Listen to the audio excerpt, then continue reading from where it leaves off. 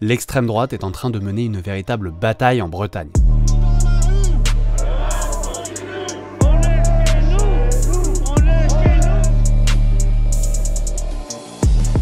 Menaces de mort contre des élus ou des journalistes, On va te crever pourriture. attaques de festivals ou de lieux alternatifs, manifestations contre des étrangers ou agressions de personnes LGBT, depuis deux ans, la Bretagne est gangrénée par des actions menées par l'extrême droite. Des groupes violents, parfois accompagnés de hooligans, se sont montés dans des villes marquées à gauche comme Rennes, le tout alors que la région est historiquement peu favorable au Rassemblement national dans les urnes. À Street Press, on a répertorié tous ces mouvements et leurs actions dans une grande cartographie de l'extrême droite radicale. Dans cette vidéo, je vais vous emmener sur le terrain en Bretagne pour comprendre cette vague de violence politique. C'est la deuxième vidéo d'une série de 4 qu'on consacre à notre cartographie, alors n'oubliez pas de vous abonner.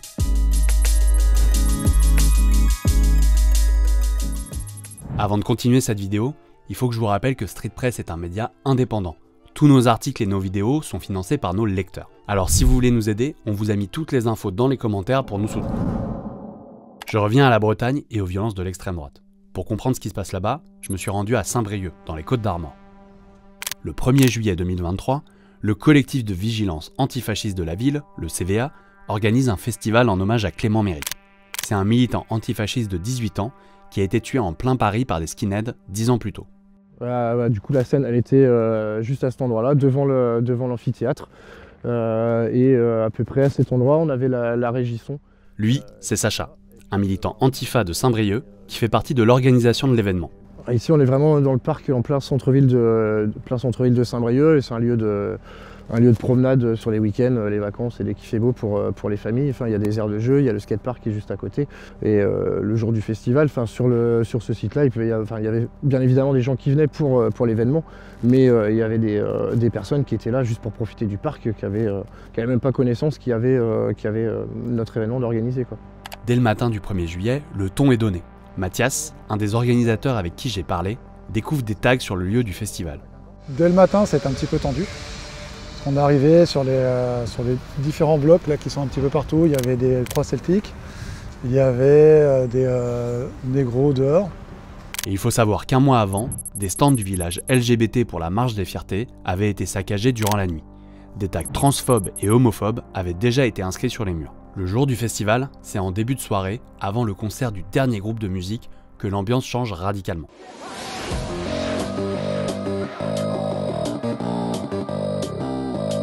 Sur cette vidéo de revendication postée sur Telegram par les agresseurs, on voit des hommes, quasiment tous masqués, débarquer sur le festival pour en découdre.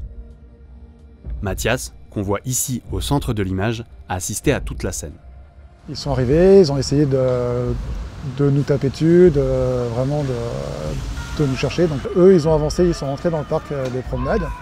Il y a une masse de gens qui sont arrivés, qui les ont repoussés. Sacha, qu'on aperçoit de dos ici, avec ses bretelles rouges, s'est aussi retrouvé dans la mêlée. Ils sont direct allés, euh, allés au contact. hein. Il y a une personne euh, dans les, euh, je dirais, la première minute de leur attaque là, qui s'est pris une, une chaise et qui est tombée, euh, qui est tombée raide KO. Euh, donc bah, les gens se sont défendus avec ce qu'ils avaient, euh, comme, comme ils pouvaient. Quoi. euh. Sur cette vidéo, on distingue nettement un des agresseurs d'extrême droite lancer une chaise sur un homme qui termine au sol. Ils sont pas venus là pour sucer des glaçons. hein. Quand, on se pointe avec un point américain, euh, euh, des, des euh, et qu'on a un protège Chico, euh, je suis désolé, quoi. Ils sont pas venus là pour coudre. Ils sont directement pris aux personnes. Quoi. Donc de là, bah, réflexe aussi de, se protéger. hein. Les festivaliers finissent par repousser les militants d'extrême droite dans une rue adjacente. Sur les images, on les voit se défendre avec des chaises, des ceintures ou des battes de baseball. Les agresseurs finissent par s'enfuir, main en l'air, quand la police intervient après plusieurs minutes d'altercation. Parmi les agresseurs, l'enquête judiciaire a permis d'identifier des ultras de clubs de football bretons comme l'En Avant Guingamp et certains aussi du Stade Rennais. Le leader de l'attaque, c'est lui, un des seuls à visage découvert. Il est membre des Roison 1901, un groupe de hooligans d'extrême droite. Il est bien connu des antifascistes qui le surnomment Blanche-Neige. Et il était même présent lors d'une manifestation contre un centre d'accueil des réfugiés à Saint-Brévin-les-Pins. C'était quelques mois avant l'attaque du festival. On le voit ici, en tête du cortège. L'attaque qu'il a menée contre le festival à Saint-Brieuc a quand même laissé des traces. même si les militants d'extrême droite ont été repoussés, il y a eu de nombreux blessés parmi les festivaliers. Moi j'ai soigné euh, juste après l'attaque à peu près 9 personnes. Principalement avec des, euh, commotions euh, au, niveau des, au niveau des membres supérieurs. Il y a une personne qui est partie avec les pompiers, quoi, avec, le nez cassé. Personnellement, depuis, depuis que, je milite syndicalement, j'ai jamais vu ça. Et de toute façon, avant l'événement, on ne s'attendait pas à quelque chose de cette ampleur. Parmi les 17 militants d'extrême droite, 6 ont été arrêtés et sont passés devant la justice lors d'un procès le 25 septembre dernier. On connaîtra les peines le 4 décembre prochain.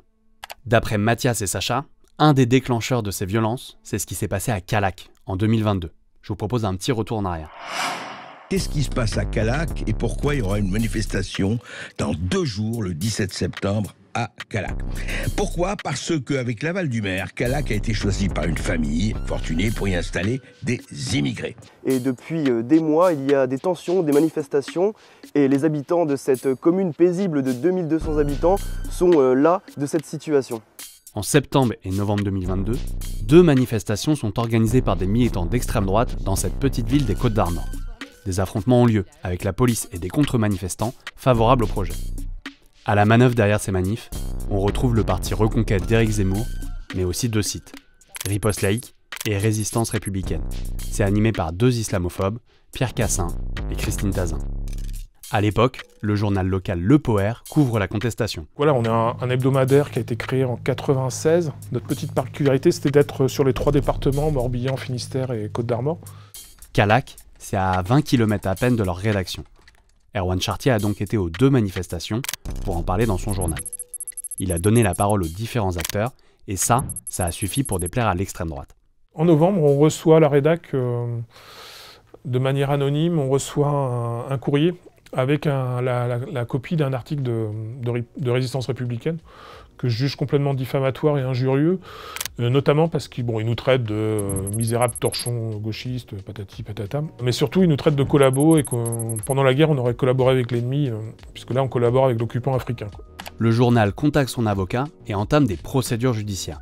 Entre-temps, la contestation a raison du projet et le maire de Calac abandonne l'idée. Mais quelques semaines plus tard, Erwan Chartier et Le Poer commencent à recevoir des tonnes d'injures. Bah, J'ai le dossier là, Va te faire niquer, chartier, tu vas crever.fr. Bah, Erwan Chartier, on va te crever. Les bâtards comme toi, on leur fout un manche à balai dans le cul, on va te crever pourriture et te jeter dans la fosse avec, avec tes négros que tu aimes tant. A très bientôt, salope. Il en prendra une, donc ça doit être moi. Mais son domicile sera brûlé. Chartier pourriture, tu vas y passer. Aux enculés de gendarmes, une promesse continue à collaborer avec l'occupant africain et on se chargera de vous avec quelques rafales, comme avec vos ancêtres collabos en 44. Bande de pourriture. Je peux vous dire que le major, quand je lui ai amené le message, il a fait une drôle de tête. Pendant plusieurs jours, la rédaction du journal local continue de recevoir des menaces. Ça culmine même avec une alerte à la bombe le 20 février 2023. Parce qu'à 9h du matin, quand la, secrétaire de rédac est arrivée, c'était la première, donc elle a eu un coup de fil, bande, bah, bande de pourriture, on a foutu une bombe, vous allez tous crever. Donc euh, elle me téléphone immédiatement, je lui dis bah tu sors, euh, moi j'arrive, je check, euh, il n'y avait, pas de, paquet. Il n'y avait pas de paquet autour du truc, mais bon, entre-temps on avait prévenu la gendarmerie, ils arrivent aussi, ils regardent. Et après il faut attendre l'arrivée du chien des mineurs. Heureusement, aucun engin explosif n'est trouvé sur place. Et le POER reçoit même une vague de soutien locaux et médiatiques. Ils ont même organisé un rassemblement avec 500 personnes. Les menaces ont fini par diminuer mais à ce jour, Erwan et le journal ont déposé 10 plaintes. Les menaces de l'extrême droite ont visé des journalistes, mais aussi des élus de la ville de Calac. La secrétaire de la mairie a fini en arrêt maladie à cause de tous les appels injurieux qu'elle recevait. Et l'élu communiste qui portait le projet a reçu des dizaines de courriers anonymes avec des menaces ou des insultes racistes, comme elle l'a raconté à Mediapart. Nous sommes victimes donc de menaces de mort, de menaces de viol euh, collectif, euh, des incendies aussi de poubelles auprès de nos maisons, Bref, euh, au mois de janvier, le maire a jeté les ponts.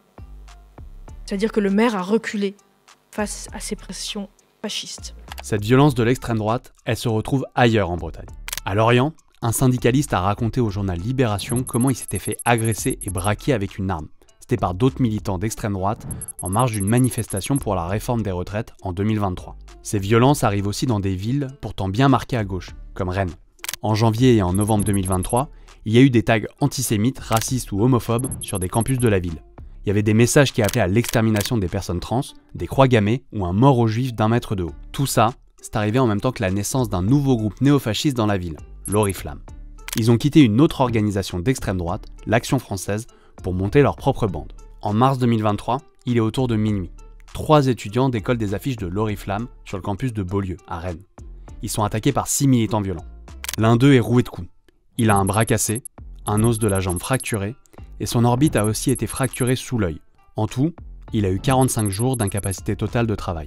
Cette violence se concentre aussi beaucoup sur les personnes LGBT+, et notamment les artistes drag. Le 13 mai 2023, l'Oriflamme fait une action à Saint-Senou, à 30 km de Rennes. Avec une quinzaine de militants, ils protestent contre un atelier de lecture aux enfants par des drag queens. Sur cette vidéo, on les entend crier le slogan LGBT dégénéré. Un mois plus tard, juste avant la marche des fiertés, une banderole Fuck LGBT assortie d'une croix celtique est affichée sur une grue à Rennes. Et cette fois, l'action est revendiquée par le Corrigan Squad. C'est le groupe qui a attaqué le festival à Saint-Brieuc. Tout ça, ça provoque des tensions dans la ville pour les artistes drag ou les LGBT+. Plusieurs d'entre eux, comme Violetta, ont même été victimes d'agressions. Ça, on vous le racontait dans un article paru sur Street Press en octobre dernier. J'ai vu trois jeunes en bas de l'église à côté de ma porte. Ils parlaient du nouveau Front populaire de manière assez virulente. J'arrivais même pas à savoir s'ils étaient majeurs. Quand ils m'ont vu, ils m'ont traité de pédé, puis de gauchias. Ils m'ont mis une claque pour me faire taire. Cette poussée de l'extrême droite dans les rues bretonnes, elle ne s'est pas répercutée dans les urnes. Aux dernières élections législatives de 2024, aucun candidat RN n'a été élu sur les 27 circonscriptions que compte la région. Mais le parti a quand même doublé son score par rapport aux élections d'il y a deux ans. C'est la fin de cette vidéo, merci à vous de l'avoir regardé. Tous ces groupes, les infos et les sources, vous pouvez les retrouver sur notre site et la cartographie en accès libre sur streetpress.com. Moi je vous retrouve dans deux semaines pour une nouvelle vidéo où je vais vous raconter ce que c'est que les Active Clubs. Alors n'oubliez pas de vous abonner et d'activer la cloche, et moi je vous dis à très bientôt sur Streetpress.